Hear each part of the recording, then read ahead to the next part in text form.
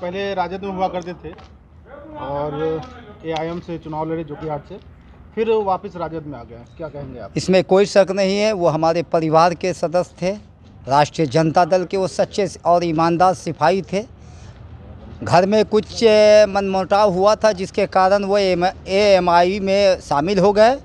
जब उनको एहसास हुआ कि हमारा जो घर है, वो मेरा सच्चा और मेरा जो स्ट्रेंथ है वो मेरे घर से हमको प्राप्त हुआ। इसलिए रात का भूला सवेरे अगर वो अपने घर वापस आ गए हैं तो इससे काफ़ी हमें खुशी है। बल्कि राष्ट्रीय जनता दल को अपने मज़बूत सिपाही पर गर्व है कि उनकी वापसी के लिए हम राष्ट्रीय जनता दल की ओर से, राष्ट्रीय जनता दल सह परिवार की ओर से जोकीहाट विधायक एवं अन्य एएमआई के तमाम सम्मानित विधायक जो राष्ट्रीय जनता दल में शामिल हुए हैं, उन तमाम सम्मानित विधायकों को अपने घर वापसी के लिए, अपने दिल से और हृदय से मुबारकबाद हम पेश करते हैं कि उनके वापसी से राष्ट्रीय जनता दल काफ़ी मज़बूत होंगे और जो विरोधी ताकत थे, उनके मुँह पर करारा तमाचा है और हम तमाम विधायकों को पुनः एक बार अपने दिल की गहराइयों से मुबारकबाद पेश करते हैं। जय राष्ट्रीय जनता दल, राजद, जिंदाबाद। मोहम्मद कमाल हक, जिला उपाध्यक्ष, राष्ट्रीय जनता दल अररिया। देखिए, टिकट काटा तेजस्वी यादव, यहाँ पर तो एंड टाइम में टिकट काटा और हम लोग को भी समझ में नहीं आया कि उसका सदस्य रह के भी उसको टिकट नहीं मिला। हम लोग तो पूरा वहाँ पर तो मिस्टेक हुआ। उसके बाद फिर जब समर्थन जनता का प्यार मिला शहनवाज आलम के साथ तो तेजस्वी यादव को भी शायद एहसास हुआ कि हमको एक सिपाही, मज़बूत सिपाही को छोड़ दिए हम। उसको भी कमी खेलने लगा। तो फिर वापसी, घर वापसी हुआ है उसका। आज शहनवाज आलम अकेले ही नहीं, बल्कि अगर गए हैं, वो तो चार विधायक को लेके गए हैं। वो सीमांचल का, गांधी का कहलाते थे उनके वालिद। और आज सीमांचल में उनका पूरा दबदबाव भी रहते हैं, बल्कि एक जगह नहीं, चार विधायक को लेके गए हैं आज। अब बाकी पूरे जोकी हाट में खुशी का माहौल है, खुशी का लहर है। कि आज आरजेडी में जाके फिर दोबारा आरजेडी को मज़बूत करेंगे हम लोग हम लोग कार्यकर्ता मिलकर सब आरजेडी का और हम और जनता का अपार समर्थक है उसके साथ बस। क्या नाम हुआ?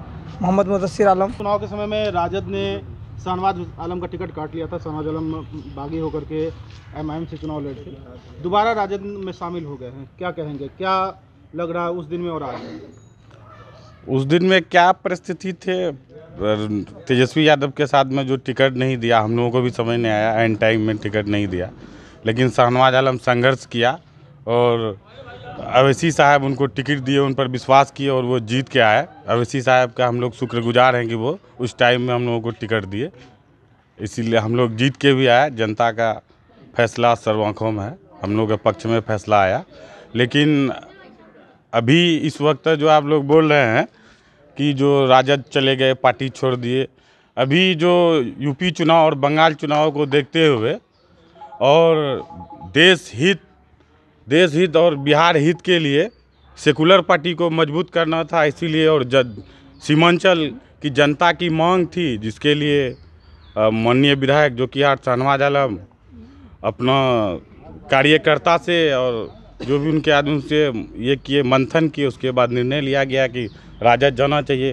राजद में लंबा भविष्य है इसीलिए ज्वाइनिंग किए। बहुत अच्छा काम। राजद के उस फैसले पर क्या कहेंगे जब टिकट कटा था उस वक्त तो बहुत गलत फैसला था राजद का क्यों ऐसा किया था? ये तो हम लोगों को नागवार गुजरा था। क्या नाम हुआ? संजीर आलम। राजद ने टिकट काट लिया था तो उन्होंने पार्टी से छोड़कर एआईएमएम से चुनाव लड़े थे।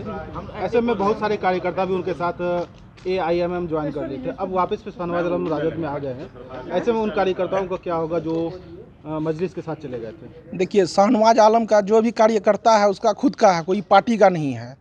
शाहनवाज आलम साहब जो स्टेप लिए हैं, हम लोग खुद उसको कहे हैं कि आप लोग आरजेडी में चले जाइए। एमआईएम का कोई फ्यूचर नहीं है और देश दुनिया का बहुत हालात ख़राब है। इसके वजह से हम लोग विधायक जी पे प्रेशर बनाए और विधायक जी खुद गए। हम लोगों की मर्ज़ी से गए। हम लोग खुद उसका एक कार्यकर्ता, सारा चीज़ हम लोग हैं उसका।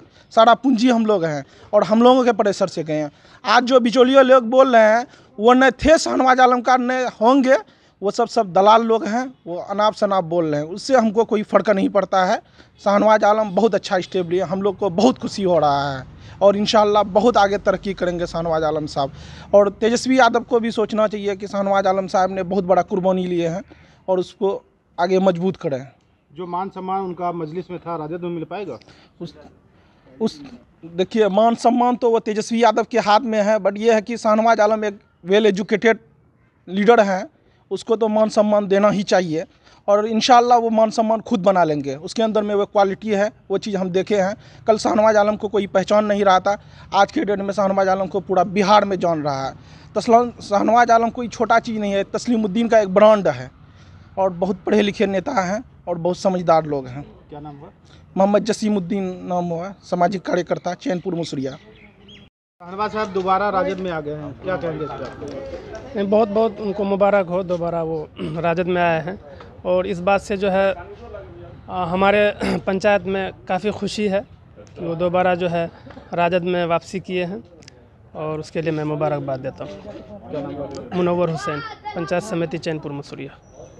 शाहनवाज साहब जब राजद को छोड़कर गए थे उनको टिकट नहीं मिला था। इसी बात की नाराज़गी थी। ए एम से चुनाव लड़े आप लोग उनके समर्थन में थे। तो शाहनवाज साहब राजद में आ गए अब आप लोग क्या करने जा रहे हैं? हम लोग को बहुत खुशी हो रही है कि शाहनवाज साहब राजद में आ गए हैं और तेजस्वी जी के नेतृत्व में राजद को आगे बढ़ाएँगे और शाहनवाज साहब फिर राजद के उम्मीदवार बन करके जो कि हार से विधायक बनेंगे। ऐसे में जो कार्यकर्ता हैं जो राजद में हुआ करते थे शाहनवाज आलम के समर्थन हुआ करते थे लेकिन शाहनवाज आलम के छोड़ देने से वो अलग हो गए थे। अब कितना समर्थन मिलेगा कार्यकर्ताओं को? राजद में शाहनवाज साहब को आने से जितना भी कार्यकर्ता है सारे कार्यकर्ता खुश है और सारे कार्यकर्ता पूरा मेहनत से फिर शाहनवाज साहब के साथ रहेंगे और राजद के साथ रहेंगे। क्या नाम है आपका? मोहम्मद राजीव।